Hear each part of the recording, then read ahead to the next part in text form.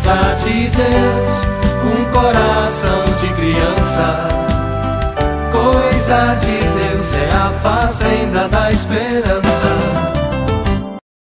Então a Diocese de São Luís de Montes Belos não inaugura uma fazenda da esperança. Ele, ele traz para a Diocese uma família que tem 98 fazendas, feminina e masculina. A esperança chegou mais forte agora em Goiás.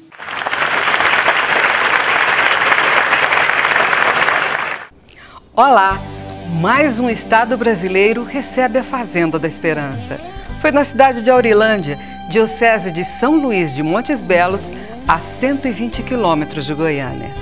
Tudo graças ao empenho da igreja, comunidade e poder público de uma região onde a solidariedade humana é muito praticada. Dom Carmelo, bispo dessa diocese, tomou a frente deste trabalho para atender ao grito das famílias que são vítimas do mal das drogas. O grito comum era droga, droga. Daria necessidade de amadurecer algo de mais estruturado que pudesse, embora como sinal, porque problema da droga é complexo, é amplo, pudesse dar uma resposta como igreja ao problema. Aí veio amadurecendo a, a necessidade é, da fazenda, porque bate é, de uma forma muito concreta com o plano de pastoral de nossa diocese, que é a palavra. A palavra luz para os meus passos, Salmo 118. Portanto, eu vi nesta metodologia uma possibilidade mais concreta e mais é, séria de não fazer só algo que desintoxica, que é algo que o Poder Civil, eh, os outros departamentos têm que fazer, não é? Mas é, tornar de fato esta obra uma é, casa de recuperação. E a recuperação se dá através de canais é, que mexem no profundo do ser humano e que mexem também com a sua religiosidade. É sem dúvida porque no fundo atrás dessa experiência do Nelson está uma verdade fundamental da nossa fé. Se nós conseguimos acreditar que outro é Jesus e amar gratuitamente, sem interesse, como ele fez, ir cada noite lá, escutar um, escutar outro, levou bolo para quem tinha aniversário, emprestou bicicleta, quem pediu. Este amor provoca no outro algo que é impressionante. O outro começa também a amar. E este é o amor recíproco que provoca a presença de Jesus entre nós e onde Jesus está acontecem milagres. Também hoje acontecem milagres. Isso a gente viu aqui. Foi um milagre, tantas pessoas felizes, felizes, contentes, participando, extraordinário. Derrama o teu amor aqui, derrama o teu amor aqui, vai chover sobre nós água viva. Derrama o teu amor aqui, derrama o teu amor aqui, vai chover sobre nós água viva. A obra é nossa e que somente na união, na comunhão e numa num desejo profundo de trabalharmos juntos, poderemos é, reverter algumas situações. Não vamos resolver os problemas, que são complexos, são de fato organizados, é, diabolicamente organizados, mas que pelo menos a igreja seja um sinal é, que a vida, mesmo de uma pessoa só, vale e portanto, temos que trabalhar para defendê-la. Assim, uma felicidade imensa poder realizar um sonho, né, que vai a, trazer um benefício enorme para muita gente. Né? muitas famílias, né? o anseio, e a gente percebe isso nas procuras que já estão tendo né? para internação. Né? A gente já tem dois aqui na casa, e várias pessoas ligando, várias pessoas querendo saber como que faz para chegar até a casa. Eu acho que vai ser um momento assim de maior caridade ainda para mim, de entender as, no as nossas fraquezas e saber que quando a gente quer e se une, as coisas acontecem. Então, primor que eu quero tirar aqui, estou tirando, é isso: que a união, o amor, o serviço é vai fazer a gente engrandecer internamente, pessoalmente e também ajudar as outras pessoas. Estamos cumprindo aquela missão que o Papa Bento nos deu, né, de levar esperança aos confins do mundo. Então temos essa meta, então não devemos parar. E por graça de Deus, foi a primeira fazenda que estamos abrindo, né? eu agora assumindo essa, essa nova missão. Então, logo de cara, vimos nos últimos estados do Brasil que não tinha fazenda. Então, para nós é uma graça e eu vejo a importância dessa fazenda, que nasce de um amor de toda uma diocese, né?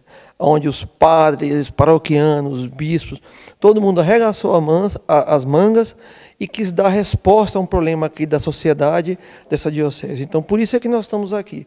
E chegando aqui, a gente encontra assim, uma fazenda que quase tudo pronto. Mas você sabe que fazenda é fazenda. Toda hora tem uma coisa para fazer, aparecem uns pequenos detalhes, né?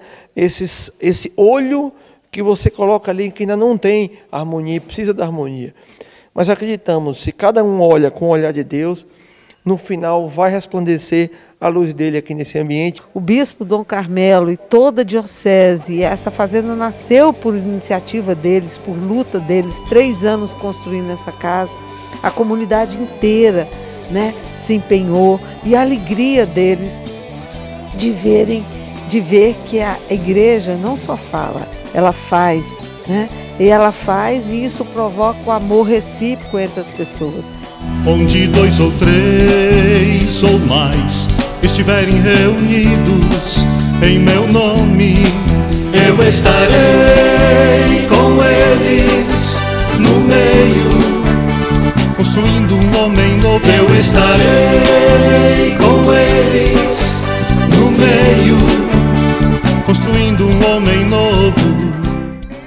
Mais ou menos 2.500 pessoas estiveram presentes na festa de inauguração desta primeira fazenda no estado de Goiás que começou com a apresentação de um teatro da Pastoral da Sobriedade da Diocese, contando a história de jovens dependentes químicos acolhidos. Esta festa de inauguração da Fazenda de Recuperação Mãe da Santa Esperança é apenas uma etapa de uma longa jornada em busca da sobriedade e da paz. E com a ação da Pastoral da Sobriedade, nas paróquias e da família da esperança na comunidade terapêutica. O que me motiva a trabalhar na pastoral da sobriedade é ter a certeza que posso contribuir para o segmento de um sonho interrompido por um vício qualquer.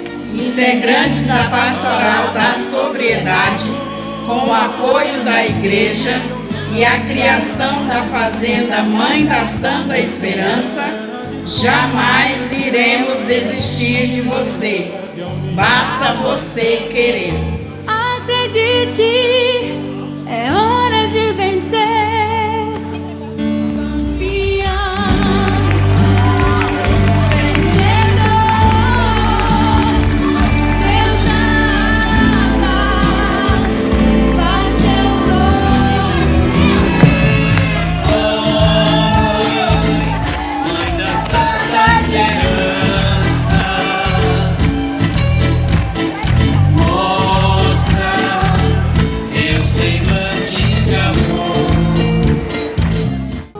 Como sempre, o ponto alto desse dia foi a Santa Missa, celebrada por Dom Carmelo e concelebrada por Dom Eugênio, bispo da Diocese de Goiás, Frei Hans e padres da Diocese de São Luís de Montes Belos.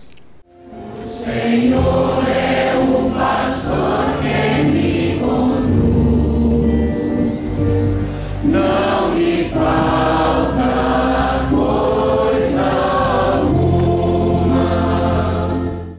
Que a nossa igreja pretenda só dar o testemunho do amor sem entrar nos jornais ou no ibope público.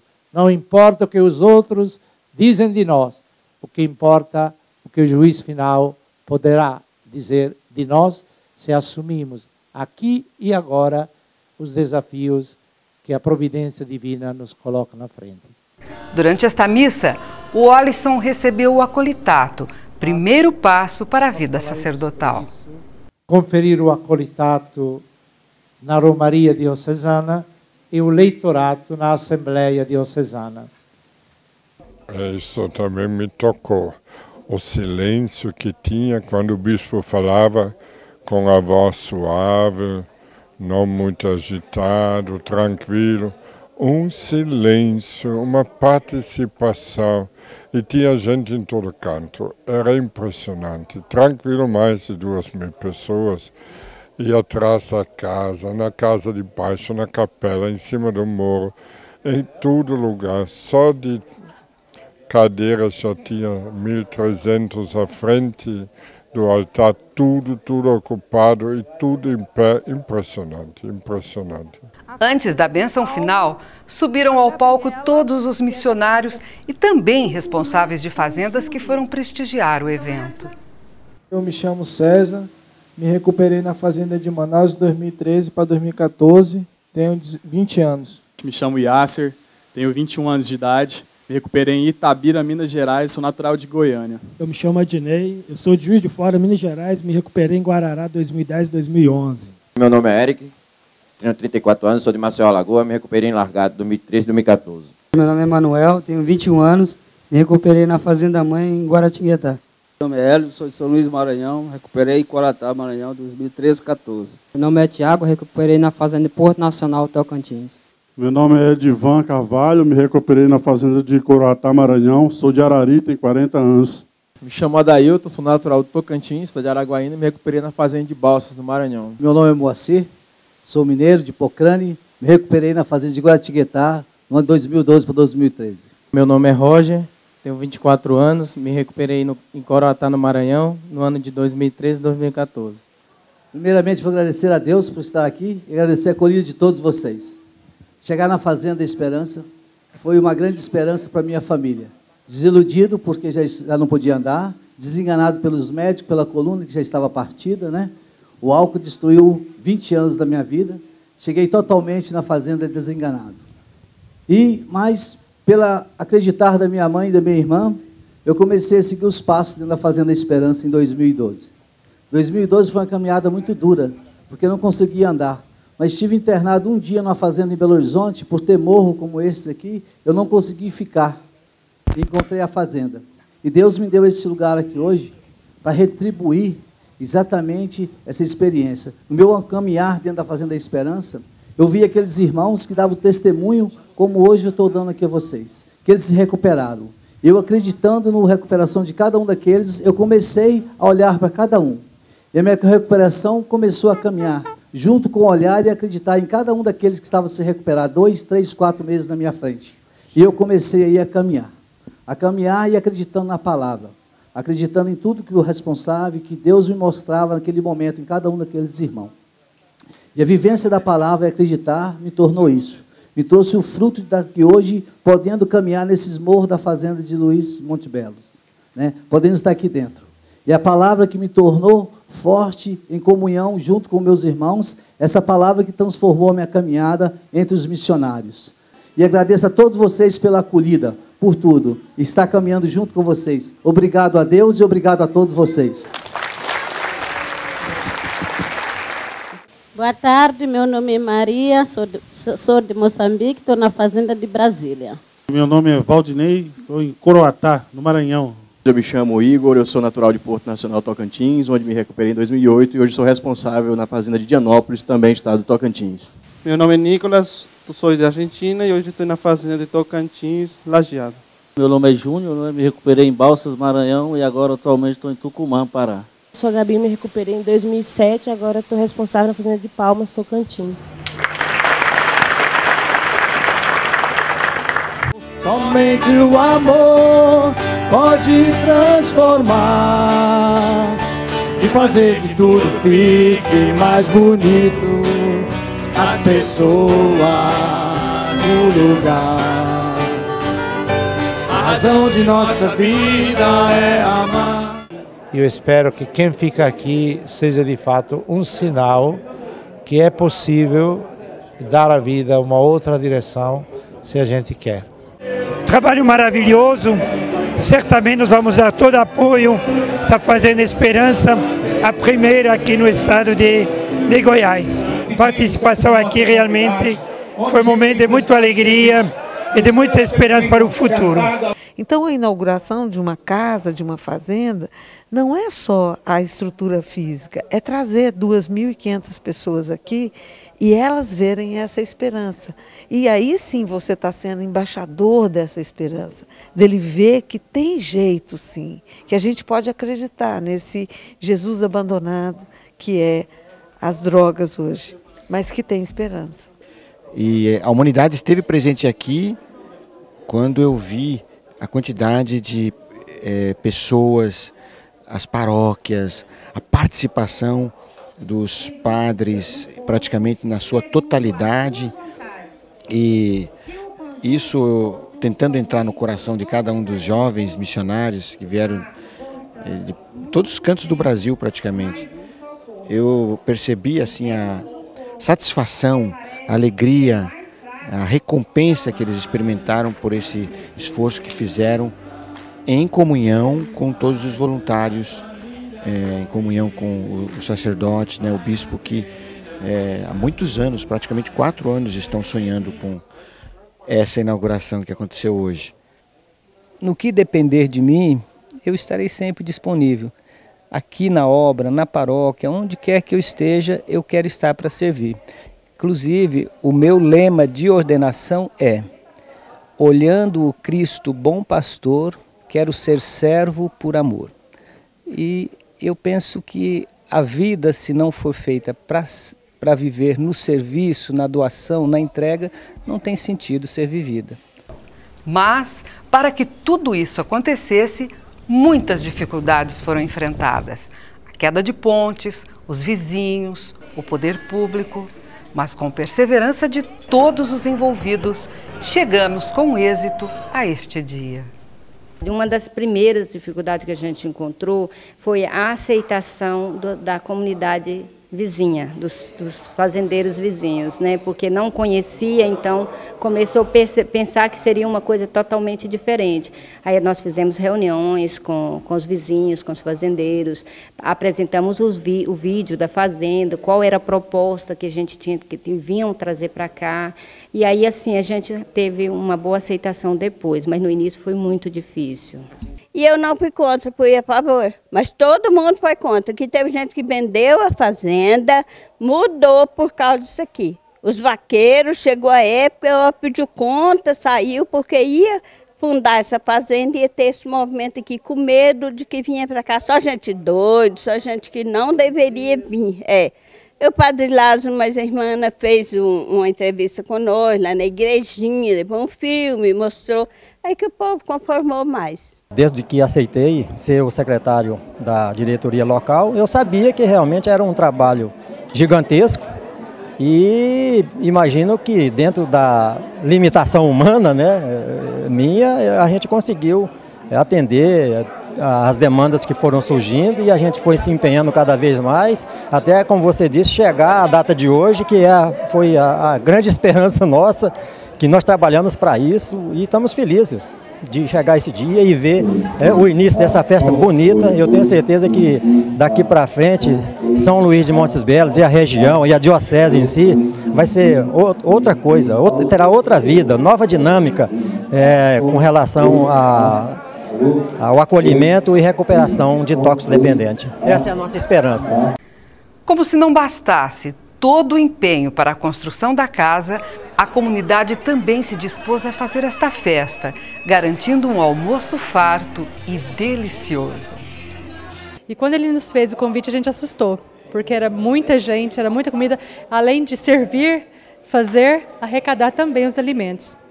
Mas aconteceu de uma forma muito tranquila com toda a diocese. A gente reuniu os três encontros para falar sobre isso e cada setor, cada setor, região 1, 2, 3, 4, 5, se responsabilizou em um alimento. Um ficou com arroz, um doou uma vaca, outro outra vaca, o outro ficou por conta do frango e aos poucos né, foi acontecendo.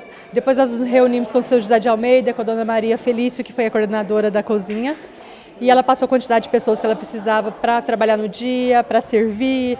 E aí a gente foi entrando em contato com todos os coordenadores e tudo aconteceu, graças a Deus. No final da conta ali tinha pessoas ali paradas, ó, oh, eu tô aqui para ajudar, eu tô aqui, eu vim para ajudar e pessoas ligavam antes mesmo, ó, oh, estou à disposição. Então isso foi tranquilizando a gente que estava na responsabilidade de arrecadar o alimento, de preparar o pessoal. Aí foi dando aquela tranquilidade e com a graça de Deus tudo aconteceu bem aí. E o que nos motiva é que perante todas as adversidades e dificuldades que a gente teve nesse período aqui, é pensar assim, se tudo isso valeu a pena por uma pessoa, para nós é o que basta. Entendeu? Então a gente é, é, mesmo tendo as dificuldades, tudo isso que a gente enfrentou para que tudo ocorresse bem, foi feito de carinho e com coração. E isso é o valor que a gente tem. É, a gente chegando aqui, a gente se emocionou de ver o pessoal, a dedicação. Então, assim, é a união do povo, o povo de Deus faz acontecer. Toca o coração realmente para mudar a vida de outras pessoas. Mas a gente vê um relato desse aí, saber que uma pessoa que tem uma estrutura de família e mesmo assim entrou nessa dificuldade, né, para a gente é um aprendizado. Né? Então, eu não vim trabalhar, não vim nada disso, eu vim aprender também. Ontem a gente foi dormir, já era meia-noite, levantamos três horas da madrugada já e começamos novamente. E cansaço, nada. Foi ótimo. Não dormi essa noite. Nem um pouquinho? Nem um pouquinho.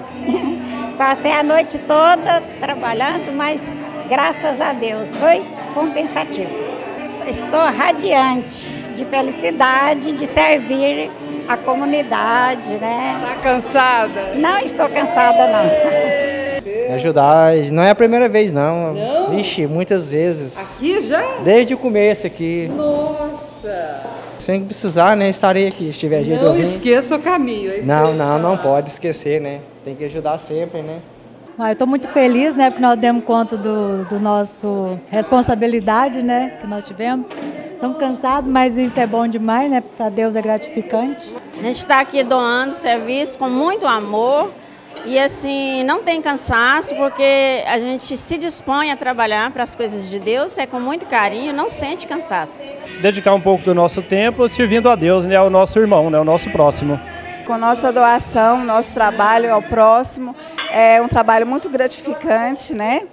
Então, nós estamos muito felizes por essa doação. Eu amo servir, gosto de ser útil às pessoas que necessitam. Então, se aqui está precisando, eu me sinto bem. Aí eu fui me encontrando cada vez mais. E eu posso dizer que eu percebo que eu vou crescer muito com essa fazenda. Vai mudar muito a minha vida. Já mudou e vai mudar muito. Mesmo sem saber direito como, como vou trabalhar nela, qual vai ser meu tempo de serviço aqui, o que, que eu vou prestar, o que, que eu vou fazer, mas eu estou gostando.